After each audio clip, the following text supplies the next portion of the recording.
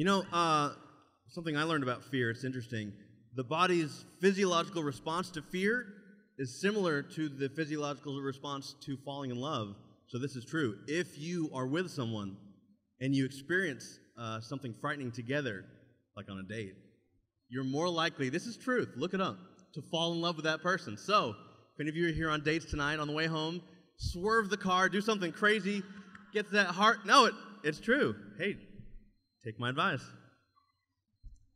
Our next speaker is in the business of social change. She's the director of digital marketing and sales at Symbology Clothing, which is an ethical clothing company that partners with artisans worldwide to elevate traditional craft into high fashion designs. Put your hands together for Taylor Reedy.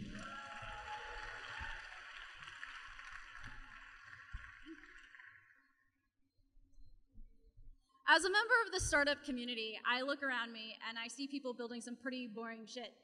And it's not just that the solutions being developed are boring, it's really that the problems being solved are kind of dull. I mean, for example, I don't think 20 somethings have really had a problem hooking up with relative strangers since the advent of tequila. But we talk about Tinder like it's some sort of revolution. So here's my ask to you all tonight. If you are building the Facebook of whatever, or the Uber of who gives a damn, just stop. Now, if you've known me for about five minutes, you've heard me share my passion for social innovation, potentially my rage against TOMS Shoes. and so it's no surprise tonight I'm talking about how we can make the world a better place. But I'm not here to show you swollen bellies and sad faces.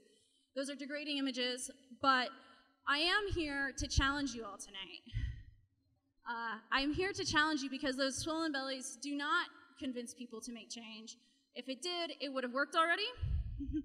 Instead, I'm here to prey on your ego a little bit.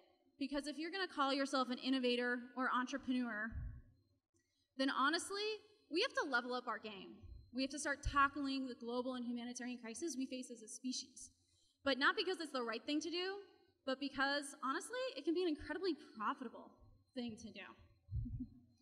When we talk about these issues like climate change, poverty, energy, it can feel incredibly overwhelming. But don't let complexity confuse you. These skills require many of the same, ch- these challenges require the same skills entrepreneurs are known for.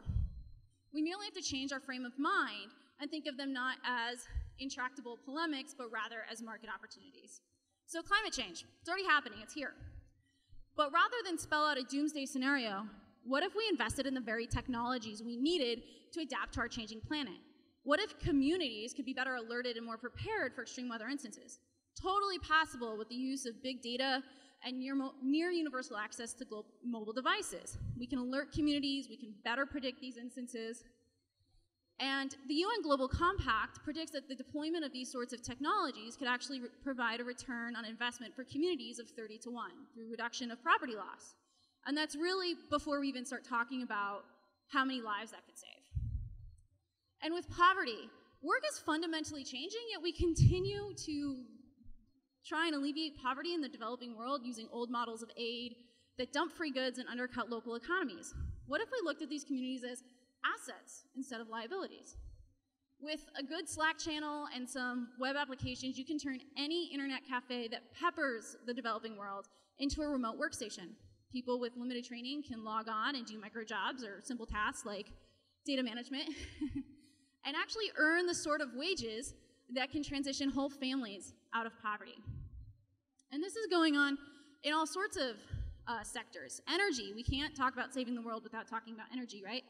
And I am so proud to say that Texas is actually a leader in renewable energy. Woo! But what if we took it one step further? What if we decentralized all energy production? What would happen is all of a sudden whole markets would become available, markets that couldn't afford the traditionally very capital intensive and expensive power grids. But you can put a solar panel on a hut and turn this guy into a customer. So, with all this opportunity around, I wonder to myself, why the hell is anyone still building a CRM system? But it's not just me that looks at the world this way. Many of the most exciting entrepreneurs are looking to global challenges and social issues as the next frontier of innovation. When Elon Musk confronted the corruption, inefficiencies, and pollution of the petroleum based economy. He didn't pick it ExxonMobil. He built Tesla, and in the process ended up making another billion dollars. And so, what excites me most about this is that the reality is those who build the world of tomorrow have always been generously rewarded, and that's no different in our new digital revolution. But now we have the capacity to not only disrupt the power systems that turn on our lights, but we can disrupt the power systems that govern our very lives. We have, yeah, we have the ability to create a more just, prosperous, and open future for everyone, but it's going to take all hands on deck. So, again, if you call yourself an innovator, I say to you, just stop building boring shit.